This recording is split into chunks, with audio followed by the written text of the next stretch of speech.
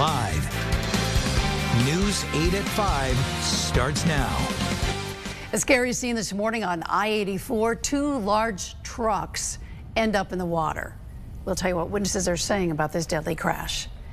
And good evening. I'm Ann Nyberg. And I'm Catherine Hauser in for Darren. A crash on I-84 East has left one person dead and sent, as you just saw, two tractor trailers into a nearby pond. News 8's Tina Detelj has been on the scene since this morning. She has the latest from Ashford.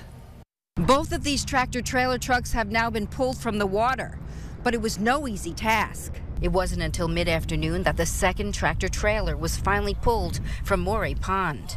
A crane and heavy-duty wreckers had to first upright it and then try to maneuver it out of the water. State police say it was just before 2 a.m. when the two tractor trailers somehow collided on I-84 eastbound near the exit 72 on-ramp. Both of them went into Morey Pond. One remained upright, but the other was upside down. The DOT confirmed to News 8 this morning that one person had died.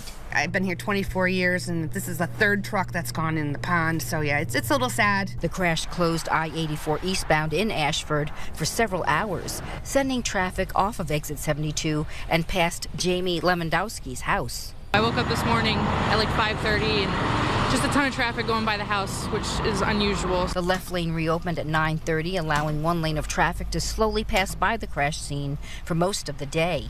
An accident reconstruction unit from the state police is investigating how this accident happened. Nancy Blackmer, who owns Cash's Country Store, says the weather last night was not good.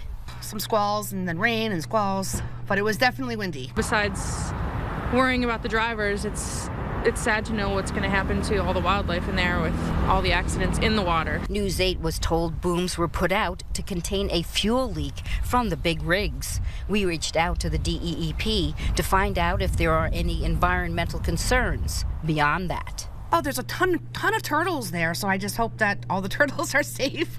There's so many beaver families and, you know, my fiance fishes in here, so after both of the trucks were pulled out of the water, crews remained to remove any debris still left in the pond. In Ashford, Tina Detelj, News 8.